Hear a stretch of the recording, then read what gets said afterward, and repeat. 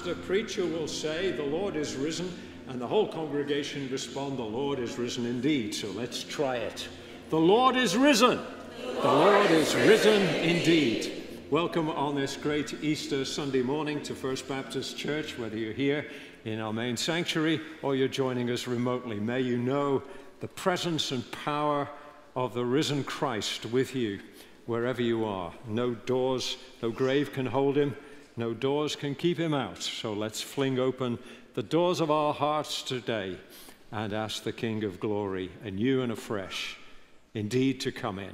Now, I'm taking no time with notices this morning. There are some available, but a lot of things have closed down for the Easter break and will be underway uh, a week's time or so. So, no time on the notices except to say if you want to know what they are, you can pick up uh, a physical copy or it's electronically available. Let's hear now one of the Easter accounts Matthew 28.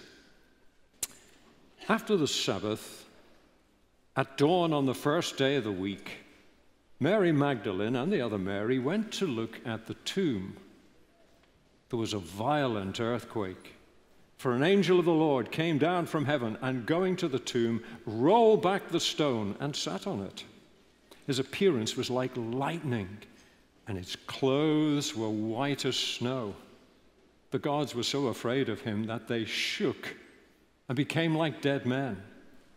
The angel said to the women, don't be afraid, for I know that you are looking for Jesus, who was crucified. He is not here, he has risen, just as he said. Amen. Let's pray together. Lord, thank you that you promised that you would suffer and bleed and die there on that wretched cross for our salvation. And thank you that the proof of its being purchased is that you are now raised from the dead, living in the power of a glorious, endless life. And Lord, you now are the guarantee, too, of our resurrection and eternal blessedness, too. And we pray in your mighty and prevailing name, Son of God, Lord Jesus Christ that by the power of your Holy Spirit, to the glory of God the Father, you would presence yourself with us here today as we gather to worship and to bless your holy name. Amen.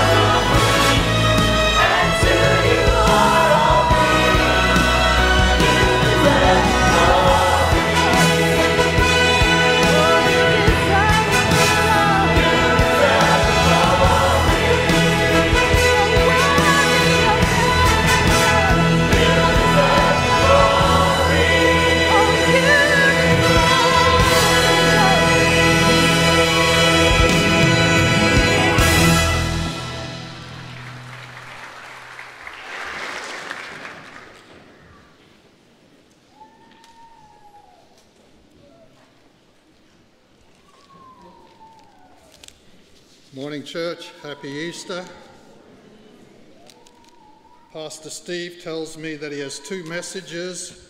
The first, that uh, Christ is risen and sits on his throne, and the second, that it is candy day for the kids. So if uh, the children will see him after the service for their treats.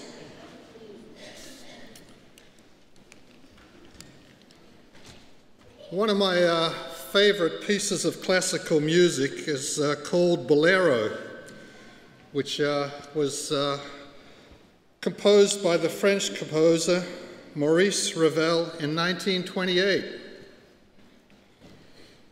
It is a haunting melody which starts with a tapping on a snare drum, and this tapping is continued throughout. The same melody is repeated 18 times and with each repetition, different orchestral instruments are brought in. As the string instruments, woodwinds, brass instruments, and percussion instruments join in, the volume gets louder and louder with each repeating cycle. The successive build up in the music is matched by the focus, concentration, and intensity of the conductor as he brings in each piece of the orchestra one by one, maintains the unity, sets the tempo, and ensures the harmony of the ensemble. At the, at the very end, the loudest point is reached, a crescendo, complete with dramatic sliding trombones and crashing cymbals and then silence. Although this composition was a sensational success when it premiered in the Paris Opera in 1928, there were critics who did not spare the composer in their judgments. Ravel addressed his critics by simply saying, I did exactly what I wanted to do and listeners can take it or leave it. The symphony speaks to me of God's redemptive work through the ages, centered on the ever repeating message of His call to us to turn from our sinful ways and to acknowledge Him. The same message is repeated over and over again by the prophets, the priests, the saints, the angels, and ends with the final crescendo of Jesus' crucifixion and resurrection. As the great composer and conductor, God continues to repeat this same message today through His Word, His people, and the Holy Spirit. The same message over and over again, becoming louder and louder and more emphatic. But this time, the crescendo will be the final judgment. Let us pray. Lord, you have spoken to us clearly and repeatedly over the ages. You have sent your Son the prophets, the saints, your priests, the scriptures, and your Holy Spirit. The message has always been the same in that forgiveness of our sins, salvation, and eternal life rest solely with you as the arbiter and creator of all things. Lord, we recognize that you have done all that needs to be done and that the rest is up to us. The banquet has been set and the invitations have been sent. And now it is up to us whether we wish to attend or not.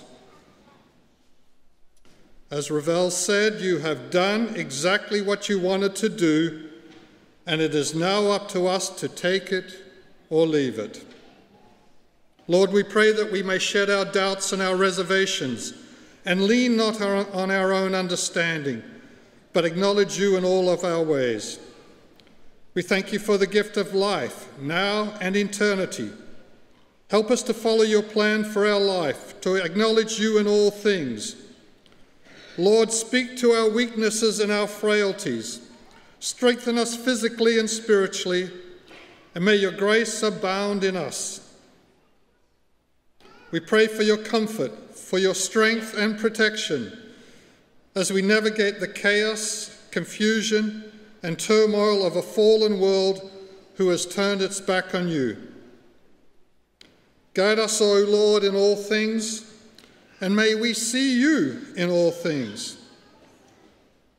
We pray that our ways and our fears will be replaced by your ways and your peace as we seek to draw closer to you in all things. We pray for the salvation of the lost, the healing of the stricken, and the comforting of the distressed.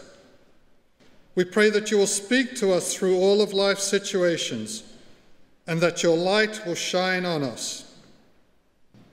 We pray that in turn we will be a light in a dark world and that we will be your instruments and your message of hope, peace, and joy, and that wherever we go, you will work in and through us for the advancement of your kingdom. We pray with all earnesty this morning that if there are any who hear this message and do not yet know you, that they will not perish before they have made a saving profession of faith in you. We pray that you will bless the music, the songs, the prayers, the testimonies, and this message this morning. And we pray for your blessings on the offering as well.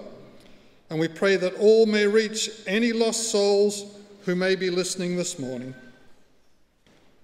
We rejoice on this Easter Sunday in the resurrection from the dead of our Lord Jesus Christ, through whose death the price of our sins have been paid, and through his resurrection, your power over death has been clearly demonstrated. Indeed, worthy is the Lamb who was slain to receive power and wealth and wisdom and strength and honor and glory and praise. All of creation bows before you, Lord Jesus, because you are the King of kings and the Lord of lords who has won the victory. Amen.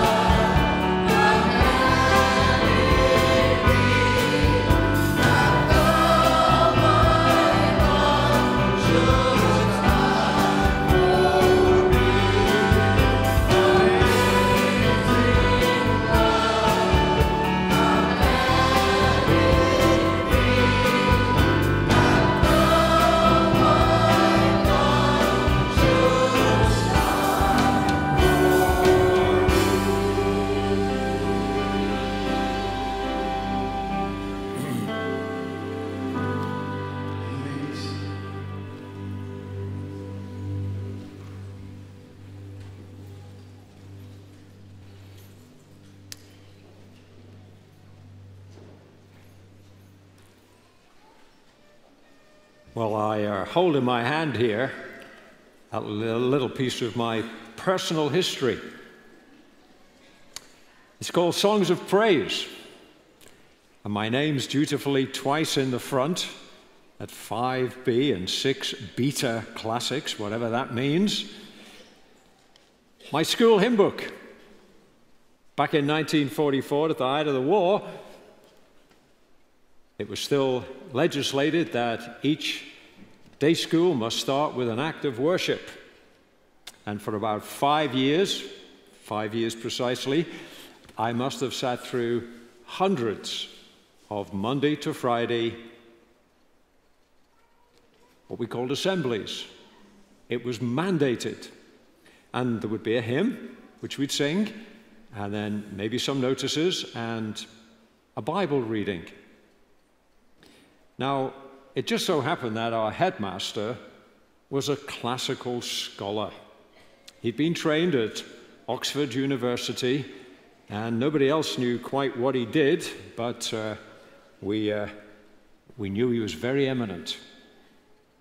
And uh, about once a term, I suppose, it may have been more, he would stand up and, with his glasses propped on his head here, he would read scripture in a sort of scholarly fashion. That sort of, you kind of felt he knew what he was talking about, although we really didn't have a clue. And invariably, every time he read scripture, he read it from Luke chapter 24, the walk to Emmaus. Partly, I think, because it talks about a burning heart. And his own Christian tradition was he belonged to the Quakers. He put great emphasis on inward spirituality. And without comment, he would read this passage. It's found on page 1047 in the Bibles available in the pews. It's Luke chapter 24. It's the road to Emmaus story. And so he would then read these uh, verses 13 through to 35. That's what, uh, 23 verses, inclusive numbered. And then, guess what his comment was? Nothing. Now, I could do the same this morning, couldn't I? Don't say amen. But we're going to read it, we're going to pray, and then I want to make some comments, unlike my esteemed classically trained headmaster. We're on Luke chapter 24. We thought about last week of Jesus' triumph, entering Jerusalem triumphantly on Good Friday, dying violently and, vic- and vicariously for us. But today we're reminded that the Lord Jesus has risen victoriously. Trouble is, it took quite a while, even for his original followers, for the penny to drop and the pieces of the jigsaw to come together.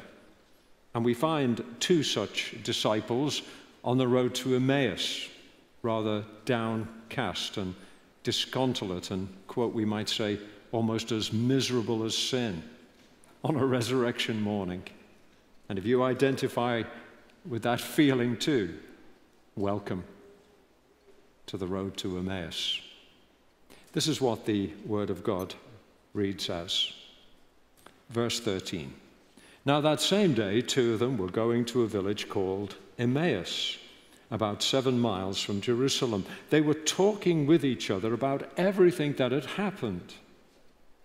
As they talked and discussed these things with each other, Jesus himself came up and walked along with them but they were kept from recognizing him. He asked them, What are you discussing together as you walk along? They stood still, their faces downcast. One of them, named Cleopas, asked him, Are you only a visitor to Jerusalem? And you don't know the things that have happened there in these days? Oh, oh what things? Jesus asked. About Jesus of Nazareth, they replied. He was a prophet, powerful in word and deed before God and all the people. The chief priests and our rulers handed him over to be sentenced to death, and they crucified him. But we had hoped that he was the one who was going to redeem Israel. And what is more, it's the third day since all this took place. And in addition, some of our women amazed us. They went to the tomb early this morning, but didn't find his body. They came and told us that they'd seen a vision of angels who said he was alive. Then some of our companions went to the tomb and found it just as the women had said, but they didn't see him. He said to them, How foolish you are, and how slow of heart to believe all that the prophets have spoken. Did not the Christ have to suffer these things and then enter his glory? And beginning with Moses and all the prophets, he explained to them what was said in all the scriptures concerning himself. As they approached the village to which they were going, Jesus acted as if he were going further. But they urged him strongly Stay with us, for it's nearly evening. The day is almost over. So he went in to stay with them. When he was at table with them, he took bread and gave thanks, broke it, and began to give it to them. Then their eyes were opened and they recognized him, and he disappeared from their sight. They asked each other, When our hearts burning within us while he talked with us on the road and opened the scriptures to us? And they got up and returned at once to Jerusalem, and there they found the eleven and those with them assembled together and saying, It is true, the Lord has risen has appeared to Simon. Then the two told what had happened on the way and how Jesus was recognized by them when he broke the bread. This is the word of the Lord. Thanks be to God. Let's pray. Open our eyes, Lord, that we may behold indeed wondrous things out of your law. May the scriptures, like they have done down through the centuries, and to these forlorn, disconsolate, sad disciples, preach Christ to us afresh this morning for his glory and in his name. Amen.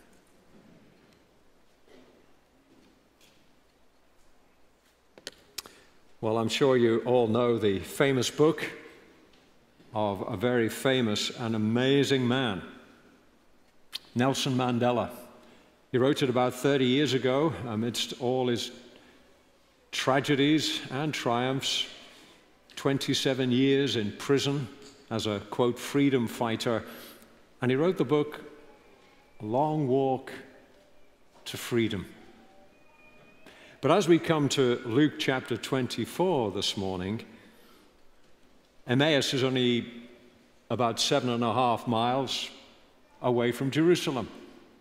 This isn't a, a long walk to freedom, but a couple of hours or so, a comparative short walk to freedom.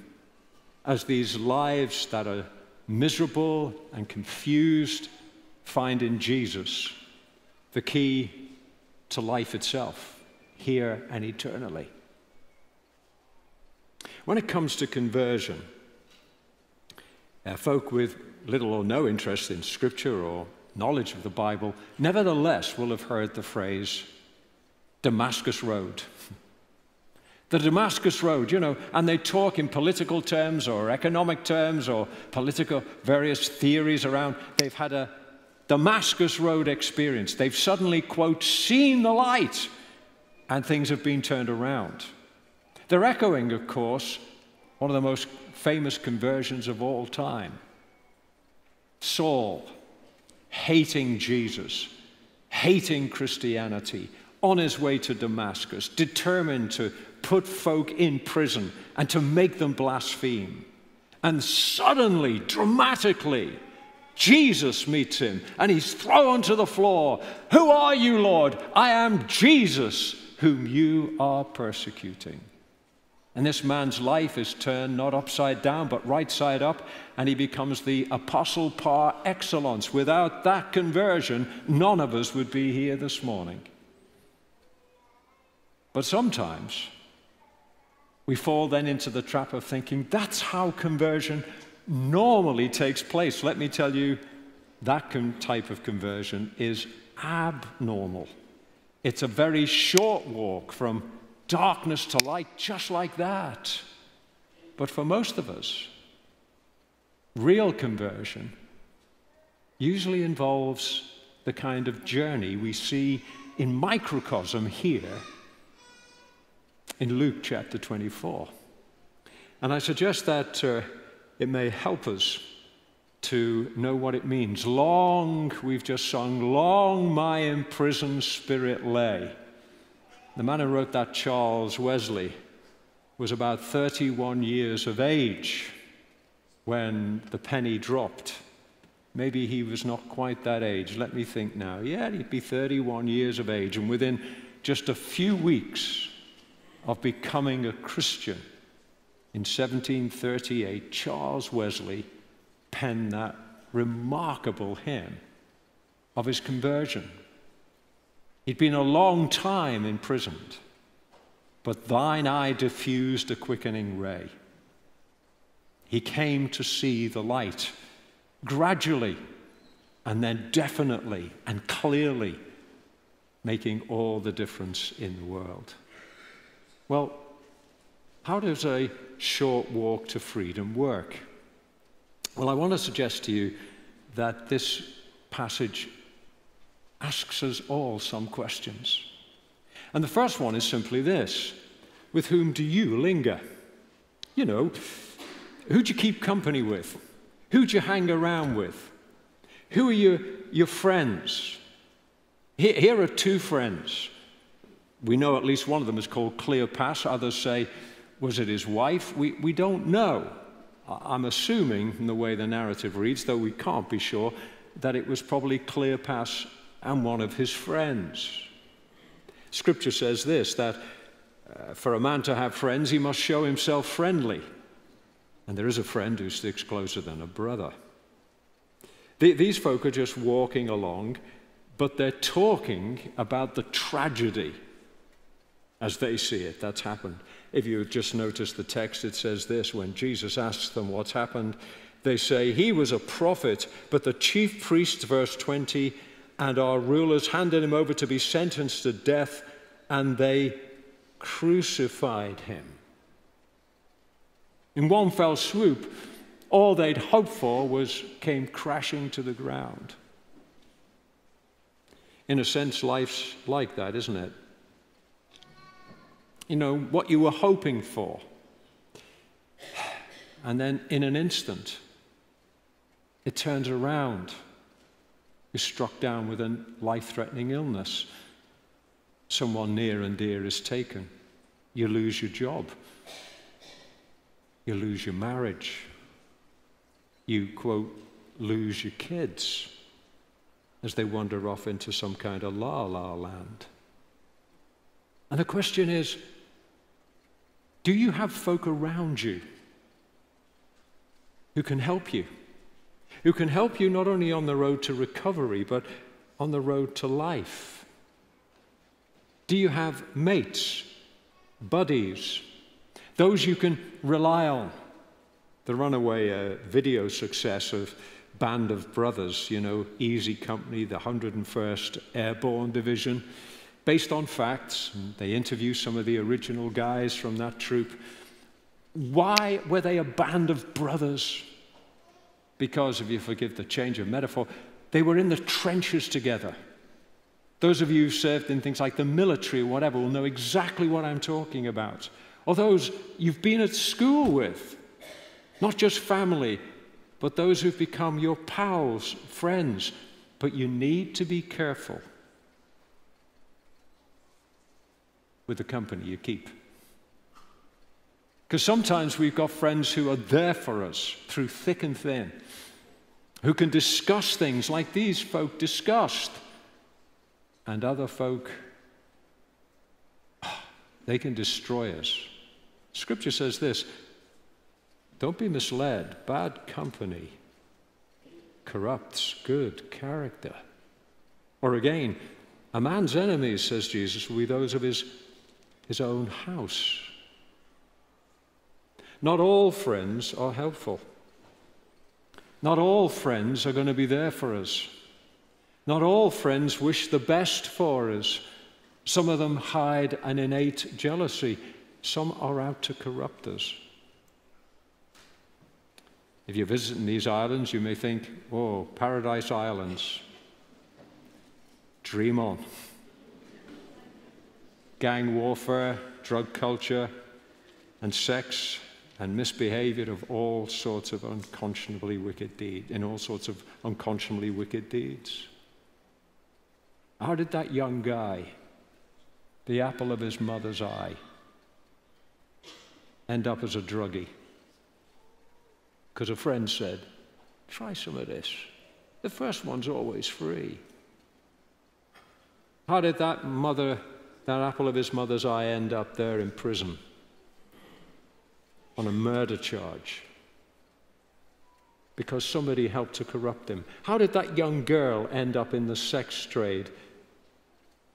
Because she, she chose to? Maybe she did. But a friend came, a pimp, and said, It's an easy way to make money. It's be careful with your friends. And if you're not married, you better be very careful who you choose to spend your life with. And those warning bells that go off, you are an idiot of the first order if you don't listen to them. You know the old saying about marriage? Love is blind, but marriage is an eye opener. But it applies to friends. And positively, my school pal. They used to line us up in our classrooms of 30 boys in alphabetical order. Probably that was so the teacher had a clue who we were. And it'd be, you know, Amos and Barclay and Bell, Brady. In fact, my friend Bell, George Bell, we had to give out our names, and he would say his name was George John, and the rest of the class would say Paul and Ringo.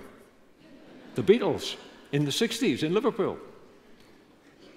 And initially, when I met George Bell, I, I really didn't like him at all. And he had a problem, he liked me even less. But he became one of my closest pals. And then one night, both of us, as teenagers, came to Christ. And he was my bosom pal as a young teenage Christian. And we would literally take walks and discuss all sorts of things about being a Christian. I'm really grateful for a friend like that. And all these years on, he's still my pal. Uh, my thoughts for the day, this rolling week, I talk about my, my old wife, my dear old wife.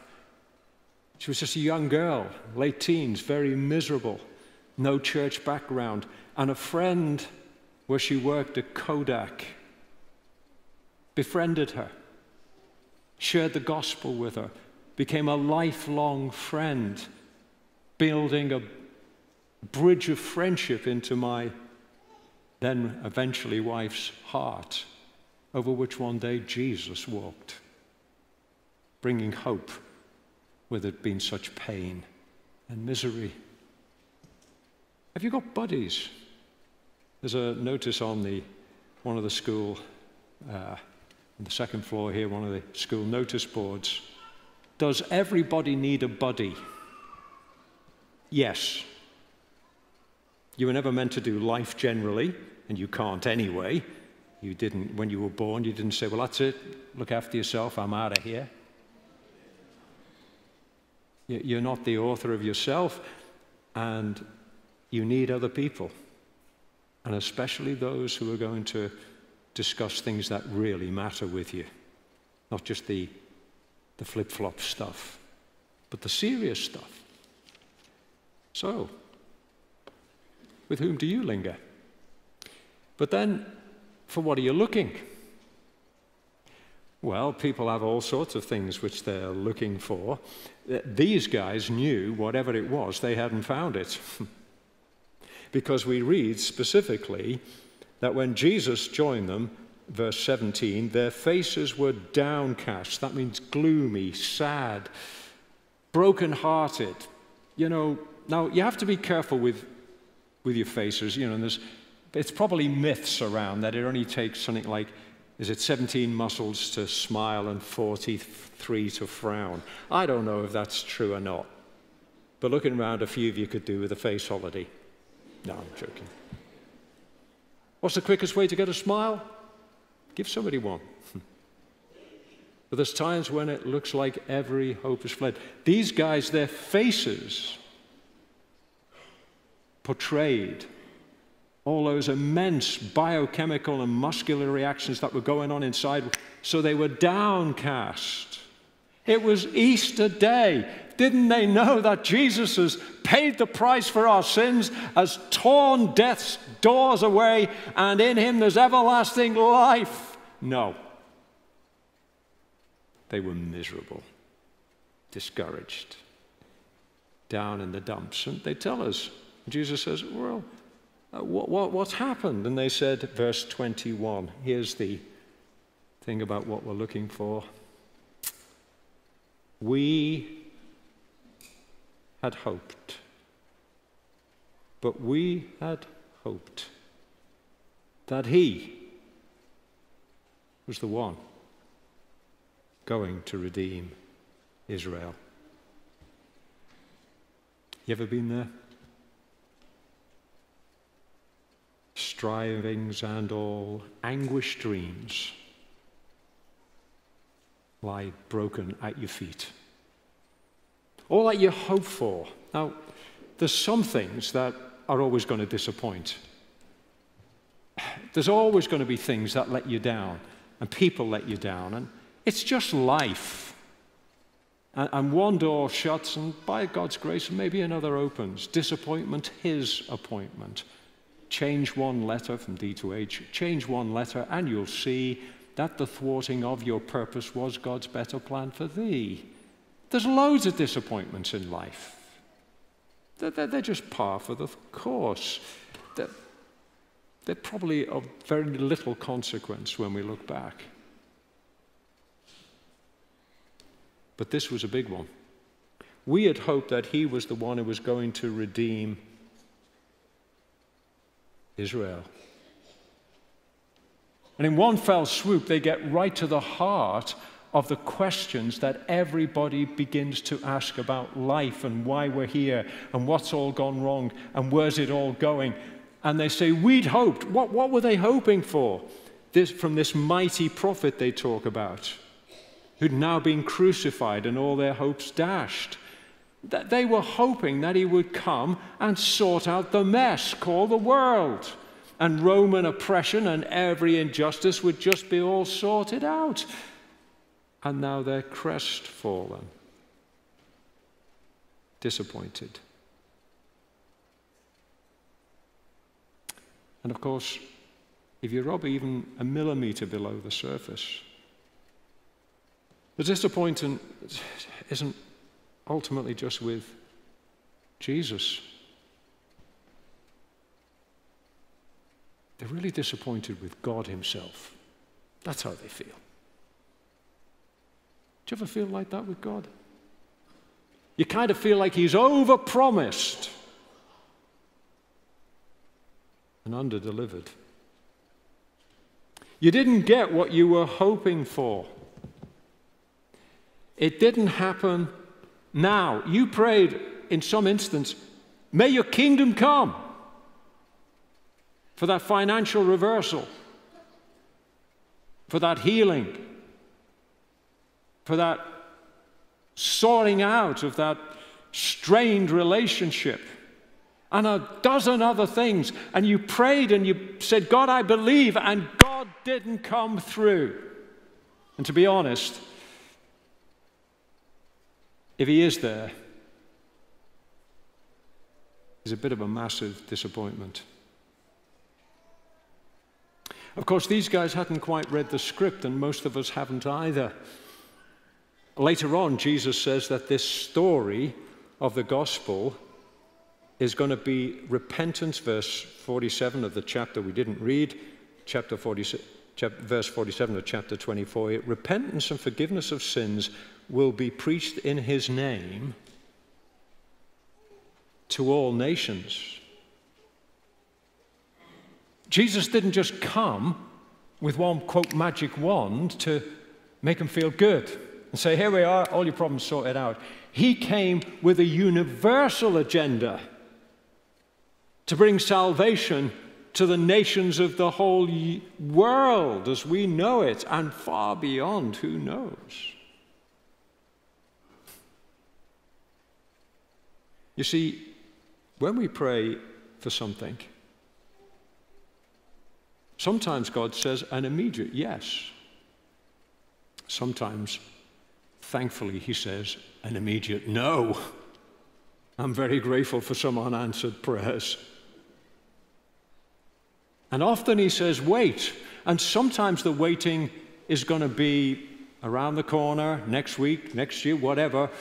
But ultimately, in the big story of the Bible, the kingdom of God in all its fullness, when everything will be wonderful, awaits the return of Jesus in glory and power when he makes all things new.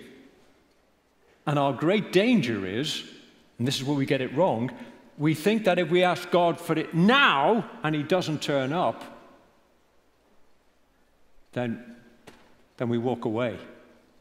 When the truth is, God will always deliver on his promises in his time. And there are times when we think it's now or never, and God says, no, it will be ever. His schedule, his calendar does not run on ours. And these guys were expecting it. We were hoping now that the kingdom would come, that Messiah would kick out all these horrible Romans and all the powers that are against us and, and move us to being top dog nation again, right? And they're disappointed. Do you feel some of that with God? It's okay. God doesn't mind you being honest. And then there's a third thing. So, from where do we, we learn? What are we listening to? And it's amazing what you can listen to today. Just the, the press of a button. You can become an expert on almost anything if you listen into a five or a 15 minute video on the internet. Here's somebody, a top class neurosurgeon, but you've just done a 10 minute course and you know more about it than they do, right? I wouldn't like you to be my surgeon, by the way. There's incredible powers at work in uh, England's green and pleasant land. We're living through the results of secularism at the moment, big time. But there's a bit of a move, slow, away from what was called the new atheists. This is what one writer says. The new atheists of the early 2000s led by Richard Dawkins, Sam Harris, Christopher Hitchens, and Daniel Dennett, predicted a utopia founded upon science and reason once we'd abandoned religion. Well, thanks for nothing. But their best selling books prove to be full of empty promises. All that our post Christian society has delivered so far is confusion a mental health crisis in the young, and the culture wars. That's just the truth. You see, when you abandon God, you abandon people. They're meant to belong together. And we're not suggesting here that Christianity is therefore useful, even though it isn't true. That is not what I'm saying. But loads of people are now waking up and saying, if what these guys say about science having the answers, it means nothing matters. There's no God, there's no heaven, there's no hell, there's nothing to live for. And so Britain has got, some of them rightly, but about 9 million unemployed, about 4 million of them saying, I've got mental health issues. We're putting young children in their tens of thousands on pills because they're depressed. We've got a Tavistock clinic, thank God, closed down, but was gender reassigning little tots. We're in a mad world. Who do you listen to? Whom do you believe? I personally have got to tell you, I do not believe these guys. I do not believe the gospel they tell me of atheism. I haven't got enough faith to believe them because I look at their dissolute lives and think, I don't want to be like you. And by the way, you dare not be wrong. Dare you? Oh, life's just here and now, and when you're dead, you're dead. How dare you say that in the light of Luke chapter 24? Somebody has conquered death. Have you ever considered the massive evidence for the resurrection and that Christ being dead now is alive forevermore? I'm a Christian by conviction that it is true that God raised this Jesus from the dead. And it, amen. And it means every other narrative and what we call meta narrative must be assessed in the light of that. For in the death and resurrection of Jesus, everything's changed. But the problem with these guys was they didn't quite get it. They, they had kind of, they believed in the ministry of Jesus. They, they tell us the story that, well, you know, Jesus of Nazareth, that's where he, he was raised. Yeah, he was a prophet, that's true. He was powerful in word and deed, many miracles before God and all the people, all attested, great. And the chief priests and rulers handed him over to be sentenced to death, and they crucified him. The devil knows that. The devil believes that. And then they go on to talk about these strange things about his resurrection. They haven't yet come to believe it, but they're saying, We know all the facts of the gospel. We know who Jesus claimed to be a mighty prophet, and we know he died, and we're told he's risen again, but it doesn't make any difference to our lives. Many people are in that position. By the way, the devil believes all that stuff as well. He's the most orthodox theologian imaginable.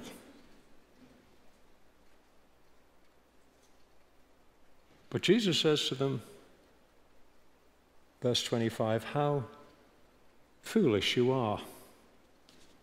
Now, that school I referred to, Liverpool Collegiate School, was very strong on the classics don't know how many teachers we had who taught Latin and Greek, especially. In Liverpool, we couldn't speak English, so I learned that as a foreign language. From the age of 12, having started Latin at 11 and French, 12 Greek. And one of our uh, teachers, Mr. Gawler, was a, a ramrod straight ex military man and he sort of spoke with a military air about him. And there were times when he was teaching us 12, 13 year olds Greek that he may as well have been speaking Serbo Croat. But then he'd come around in the days when you could do, he'd probably be, uh, be now summarily thrown out and dismissed. And when you were kind of a bit slow, he would, with his forefinger, he'd point at your head like this. He'd say, You've got to get it in your head, Brady. You've got to get it in your head. Which translated into English means, I think it would be useful if this went into your mind. You've got to get in your head. You've got to get, you've got to have your nous engaged. That's exactly what Jesus says these guys didn't do. They were literally, the Greek is, they weren't using their nouses, their minds. And then do you know I'm, a, I'm mentioned in the Bible here? slow of heart. Do you know, do you know what? This is me. Because the Greek word is, two Greek words is bradycardia. And if you've got bradycardia, you've got a slow heartbeat, because bradyus in Greek means slow.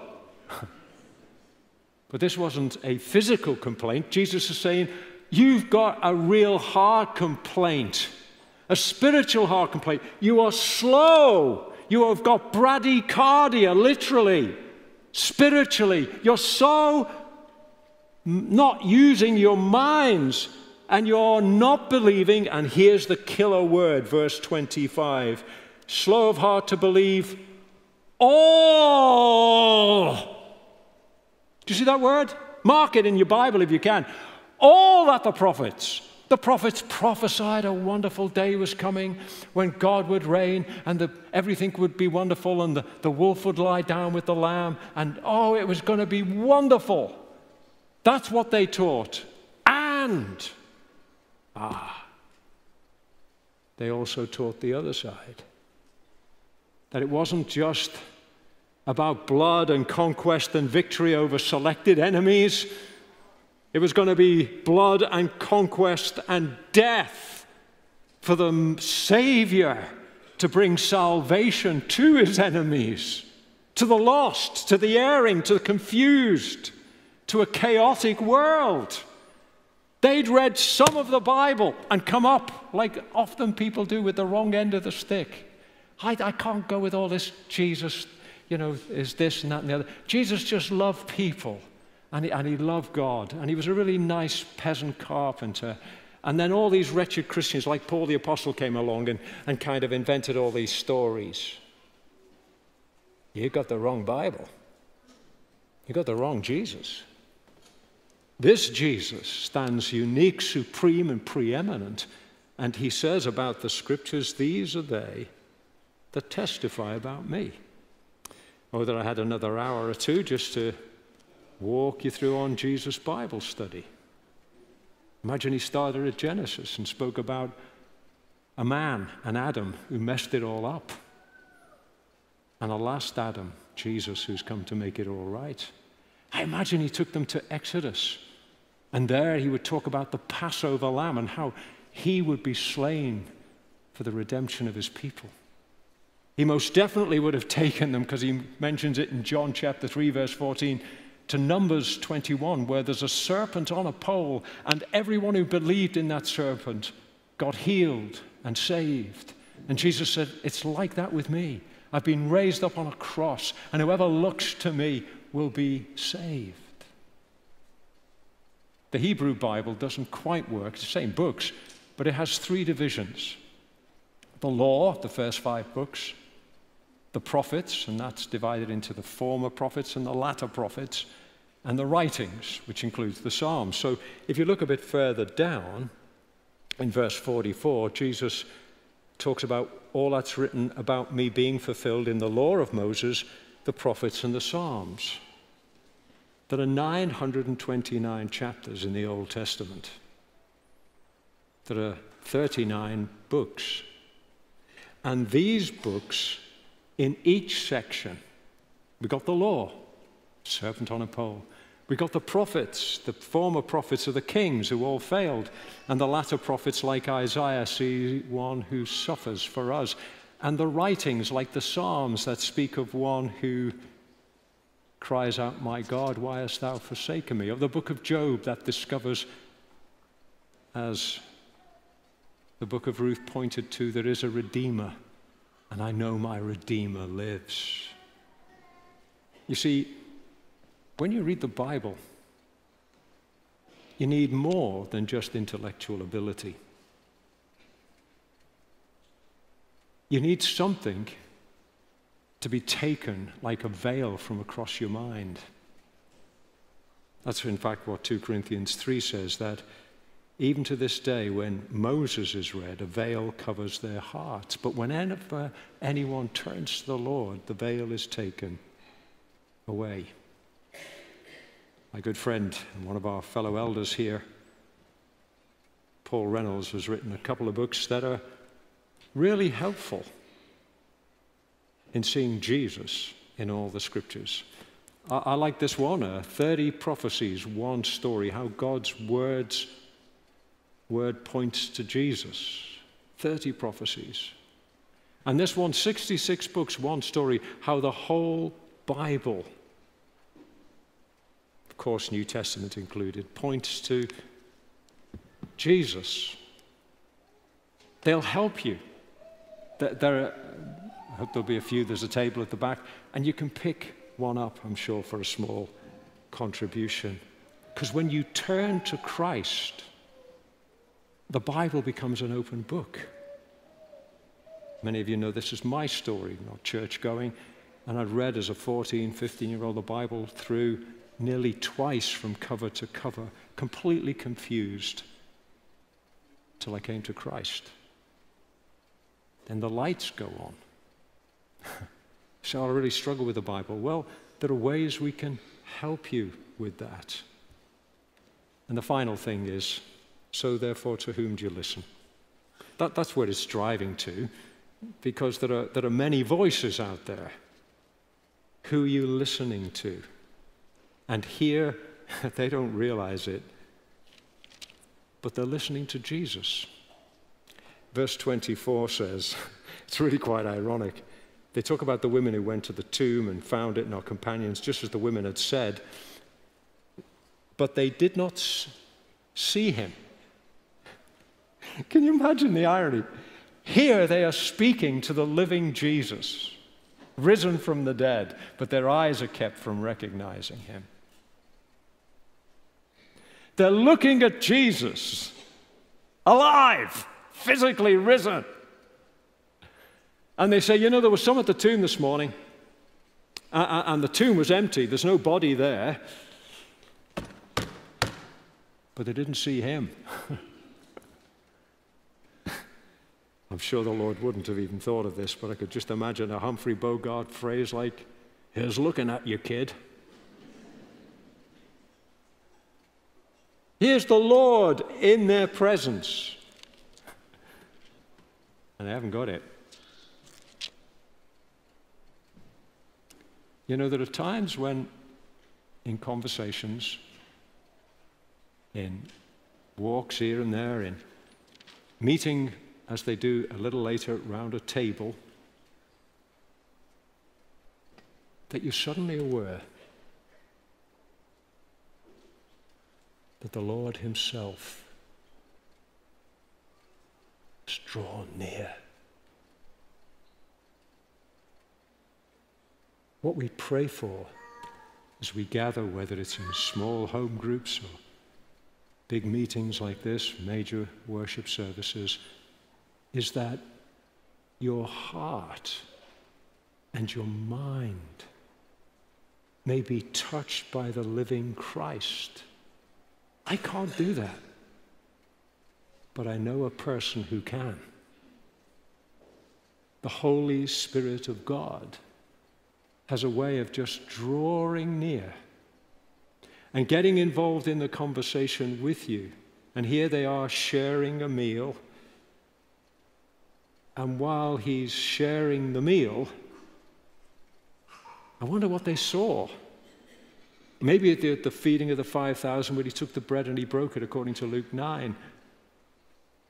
They weren't at the upper room, I'm sure, when Jesus did break bread. But here, over a meal, as he now, those hands that had taken bread and fed a multitude, and took bread and said, This is my body given for you. I'm sure they saw the wounds now glorified, standing somewhere in the shadows. You'll find Jesus. He's the only friend who cares and understands. Standing somewhere in the shadows, you will find him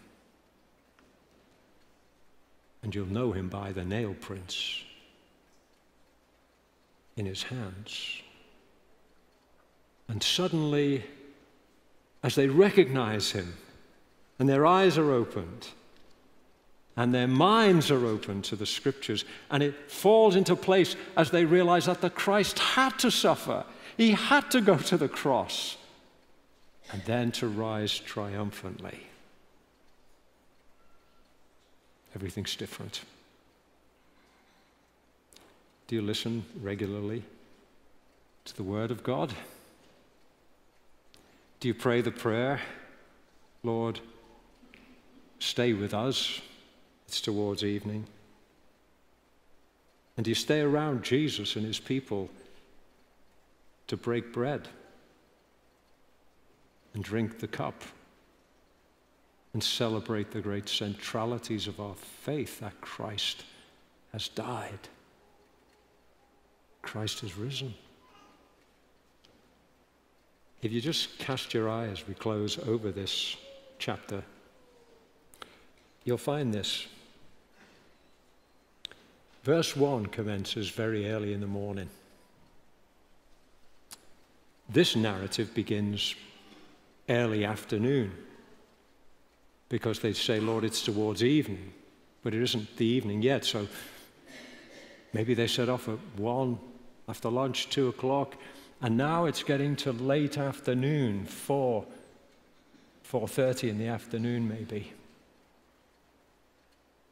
And then when they find they've, they've been found by the living Jesus, they, they hottail it back another seven and a half miles. That gets you 10,000 steps a day, doesn't it?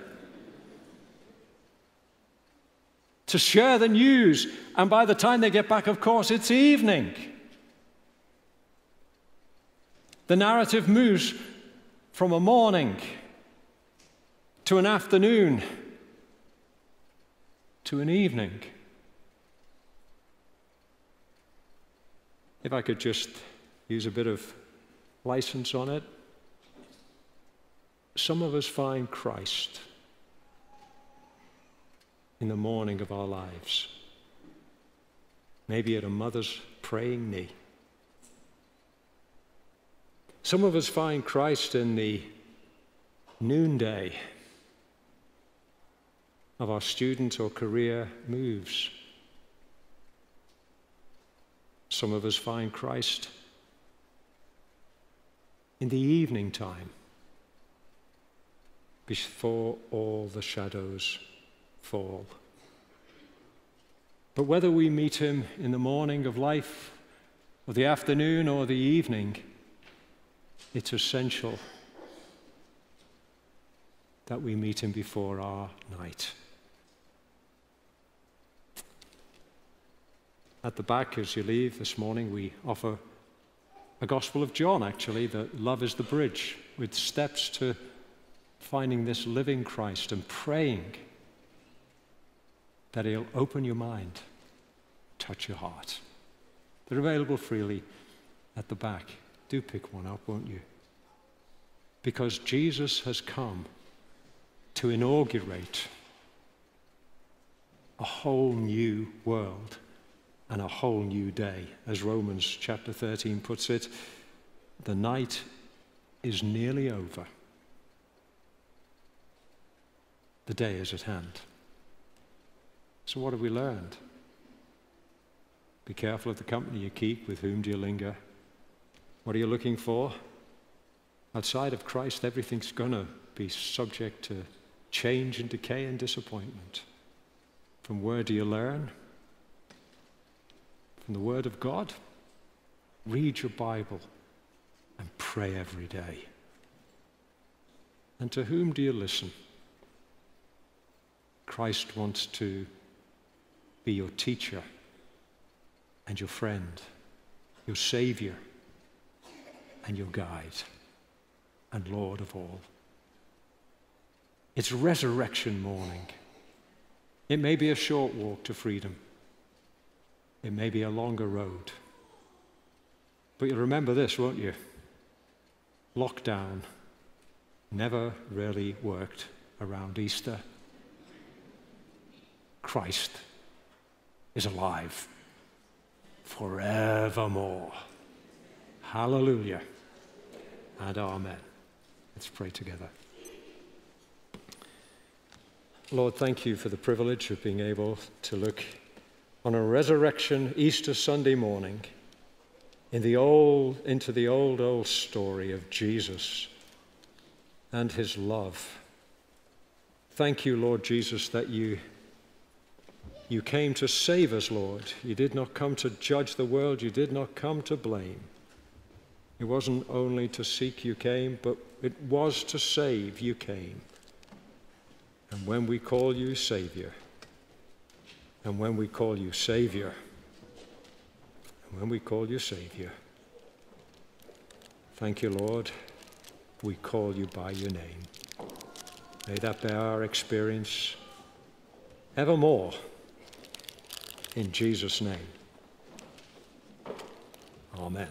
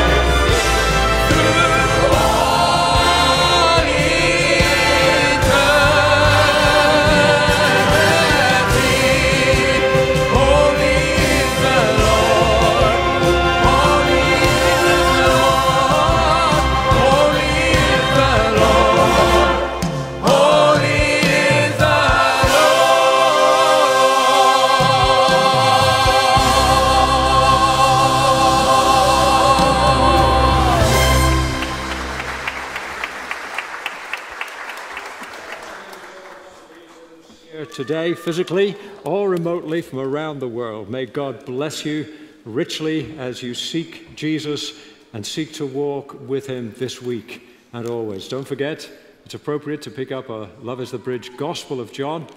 And uh, again, if appropriate, appropriate usually means children, but I do have a few adults always come and get a packet as well. May God bless you. Let's pray together. Lord, we thank you that you died that we might be forgiven. And you died to make us good, that we might go at last to heaven, saved by your precious blood, for there was none other good enough to pay the price of sin. You only could unlock the gates of heaven and let us in. And since you're risen and alive forevermore, you continue to welcome strangers and those far off and enemies as your friends into your eternal kingdom. And therefore, as we part now by the gracious power of your Holy Spirit, may you go with us and watch over us and ours and between us, till in your goodness and to your Father's glory we meet again. Amen.